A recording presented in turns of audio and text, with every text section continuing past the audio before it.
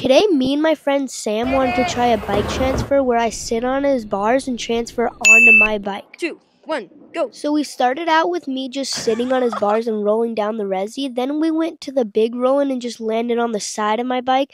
And both of those seemed to work really well. So then we started trying it. Oh, And it wasn't really working. And we tried it over and over oh, and Oh. over and again and again and again. And then on this one, I actually got really close. And that actually kept on happening where I get super close. Like on this one, I just slipped my hand. And on this one, I landed right on the bars, and that hurt pretty bad. Then I got up and we tried it again, and I landed perfectly. So comment down below how many tries you think that took for a chance to win $100.